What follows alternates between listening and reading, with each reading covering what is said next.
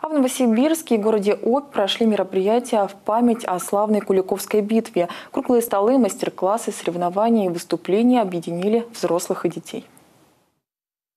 Межрегиональный фестиваль «Где стоишь, там поле Куликова» традиционно проходит в праздник Рождества Пресвятой Богородицы и Дня воинской славы. На нескольких площадках Новосибирска и города Аби прошли праздничные мероприятия, посвященные победе русских полков над татаро-монгольскими войсками в Куликовской битве. Около 30 тысяч школьников приняли участие в работе фестивальных круглых столов и мастер-классов. Перед молодыми людьми выступали историки, военнослужащие и священнослужители.